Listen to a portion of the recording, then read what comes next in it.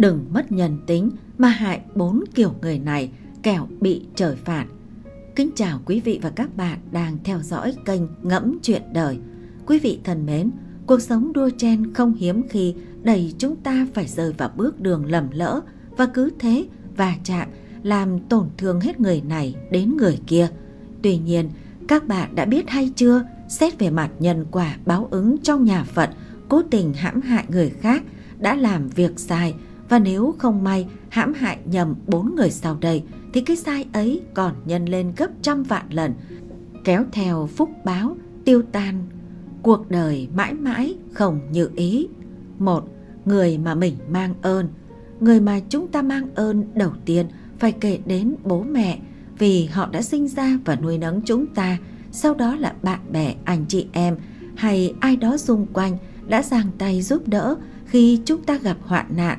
Mang ơn tức là mắc nợ, mà mắc nợ thì phải trả, nếu không trả được còn quay ngược lại hãm hại như bất hiếu với bố mẹ, bất nghĩa với ân nhân, điều này khiến nợ chồng nợ nặng nề vô cùng. Cũng như vậy, con người sống trên đời, năng lực của một người chiếm 3 phần, 6 phần là may mắn, một phần còn lại nhờ có người giúp đỡ. Cuộc sống không thể thuận lợi nếu không có khả năng. Dù bạn có khả năng, bạn cũng sẽ không thể nổi bật nếu không nắm bắt cơ hội. Thời cơ đến, nhất định phải có người giúp đỡ, bạn mới có thể dùng sức mình mà phất lên đúng lúc. Khi bạn rơi vào hoạn nạn, việc một người bạn tốt kéo bạn thoát khỏi tình thế khó khăn lại càng thân thiết hơn. Bạn phải biết ơn khi gặp được những người đã giúp bạn đúng lúc, những người sẵn sàng hỗ trợ bạn trong cuộc sống. Chấp mê bất ngộ ở chỗ này, một khi báo ứng giáng xuống bản thân chúng ta chắc chắn không thể nào chống đỡ nổi. Lúc đó mới nhận ra sự bội bạc khiến bản thân lâm vào cảnh khốn cùng có lẽ cũng đã muộn màng. Lòng dạ thay đổi theo hoàn cảnh là người bình thường, tâm bất biến giữa dòng đời vạn biến mới là đáng quý, nhìn thấu và không nhìn thấu tạo ra hai cuộc sống khác nhau, biết ơn và vô ơn tạo nên hai số phận. Hãy tự nhìn bản thân với sự khiêm tốn và nhìn người khác bằng lòng biết ơn chân thành, bạn sẽ ngày càng thành công hơn.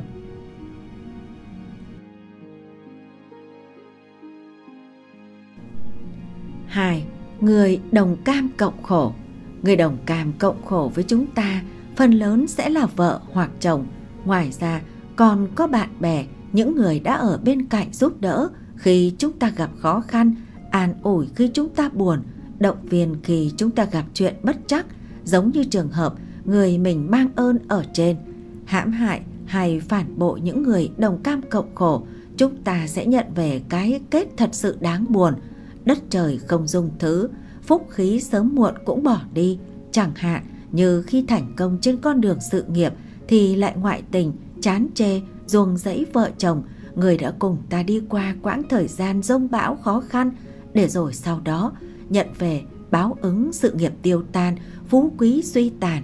Ở đời hiếm gặp được người bạn trì kỷ, lúc nghịch cảnh phải trân trọng những tấm chân tình đến từ những người không phải máu mủ ruột thịt. Trên thế gian này thường có nhiều người theo hoa trên gấm thay vì cùng bạn đồng cam cộng khổ. Những người sẵn sàng giúp đỡ bạn lúc khó khăn là người bạn cần trân trọng.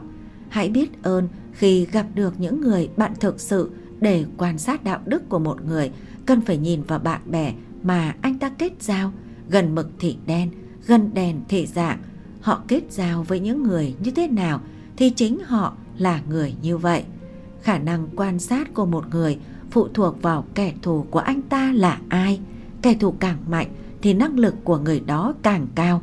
Chỉ những đối thủ xuất sắc mới có thể thúc đẩy bạn vươn tới thành công. Chúng ta nên biết ơn khi gặp phải những kẻ thù đáng gờm. 3.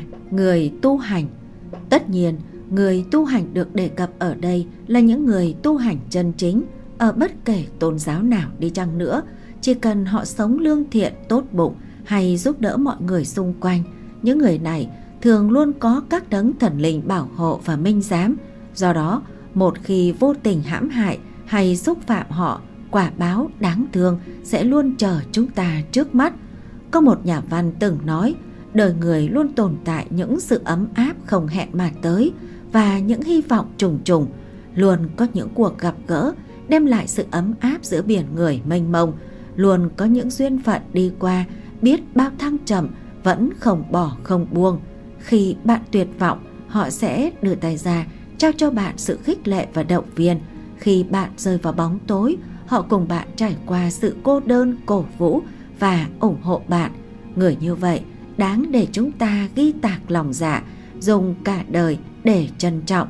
Có một câu chuyện như thế này, có một vị thiền sư tu hành ở trong núi.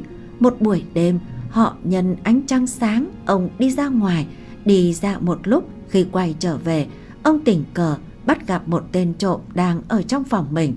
Ông sợ kinh động tới tên trộm nên đứng ở cửa chờ anh ta. Tên trộm không tìm được đồ gì quý giá, chuẩn bị đi ra cửa bỏ chạy thì gặp vị thiền sư đang đứng ở đó. Ngay lúc tên trộm cảm thấy kinh hãi thì thiền sư lên tiếng. Người tìm tới nơi xa xôi hẻo lánh như thế này thăm ta, không thể để người về tay không được. Nói rồi, thiền sư cởi áo choàng ngoài của mình ra, đêm xuống sương lạnh, mặc chiếc áo choàng này cho ấm, rồi đi đi. Thiền sư vừa nói, vừa khoác chiếc áo lên mình tên trộm. Tên trộm đứng hình ngẩn ngơ rồi cúi đầu rời đi. Thiền sư nhìn bóng lưng của tên trộm nói, tội nghiệp quá, ước gì ta có thể tặng người một ánh trăng sáng. Ngày hôm sau, ánh nắng ấm áp chiếu rọi căn phòng thiền sư vừa mở cửa ra thì trông thấy chiếc áo khoác hôm qua đã được xếp ngay ngắn trước bậc cửa. Thiền sư vô cùng vui mừng nói, ta cuối cùng cũng đã tặng được cho anh ta một ánh trăng sáng. Hơi ấm sẽ không ngừng chảy, lương thiện với người khác là một vòng luân hồi. Người đem tình yêu đi sẽ được nhận lại tình yêu, kẻ được hưởng phúc sẽ biết đền ơn. Một tác gia từng nói, càng tiến về phía trước, càng phát hiện ra rằng hãy ở cạnh người dịu dàng ấm áp, cô ấy sẽ cho bạn năng lượng, cho bạn thời gian, khiến bạn cảm nhận được sự tồn tại và quan trọng của mình trên thế gian.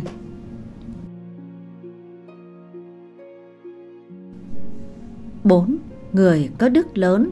Không cần phải bàn cãi nhiều Người có phúc đức lớn chính là người cực kỳ lương thiện Sống chan hòa và bao dung. Những người như vậy rất được lòng mọi người xung quanh Và được sự chứng giám của đất trời. Nhân tâm và thiên ý đều bảo vệ họ Cho nên nếu vô tình hãm hại người có đức lớn chúng ta sẽ gặp phải hai hậu quả. Một là những người xung quanh yêu mến họ sẽ phẫn nộ với chúng ta, thậm chí còn tìm cách trả thù thay. Hai là khiến đất trời tức giận, phúc khí của bản thân từ đó mà nhanh chóng tiêu tan, kéo theo hàng loạt quả báo khổ đau triển miên. Quý vị thân mến, sống trên đời phải biết tích đức cho bản thân, đừng để đến khi gây ra chuyện hãm hại người khác, nhận về quả báo mới biết quay đầu thì lúc ấy không còn kịp nữa. Có một câu chuyện được kể lại như sau. Một người phụ nữ có thói quen nướng bánh mì cho cả gia đình mỗi sáng. Bà đều làm dư một cái để bên ngoài cửa sổ cho người nghèo đi qua dễ lấy. Ngày qua ngày, cứ đến buổi sáng, một ông lão gù lưng sẽ đến lấy ổ bánh mì đi.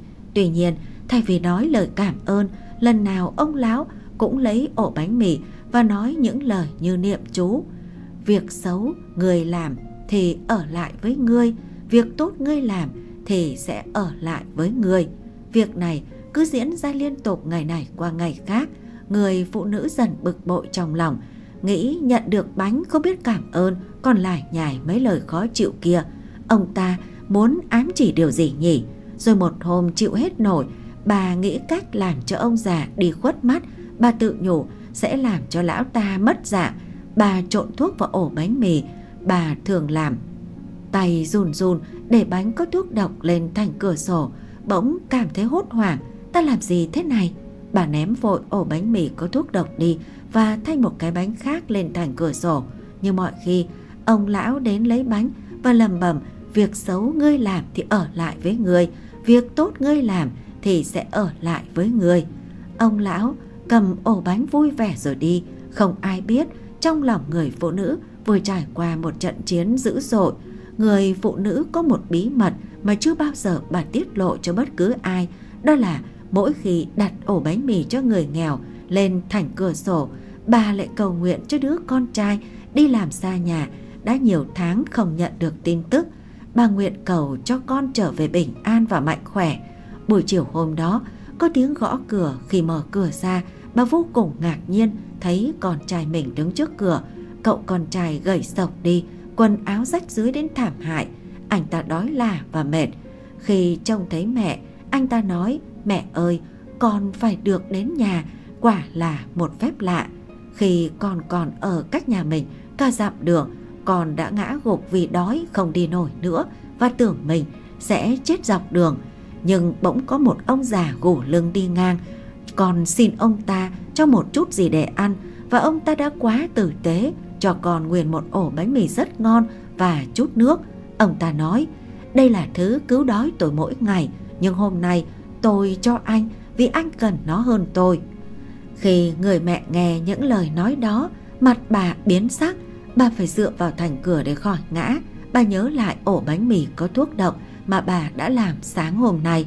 Nếu bà không ném nó vào lửa thì con trai yêu quý của bà đã ăn phải và đã chết. Ngay lập tức bà nhớ lại câu nói lặp đi lặp lại qua ngày của ông lão. Trong cuộc sống của chúng ta cũng vậy, luôn tồn tại luật nhân quả. Những gì bạn làm hôm nay có thể sẽ là căn nguyên cho những sự việc sẽ đến với bạn trong tương lai. Bởi vậy, hãy luôn sống tốt và nỗ lực hết mình để giúp đỡ người khác. Nếu có thể, bạn sẽ nhận lại may mắn.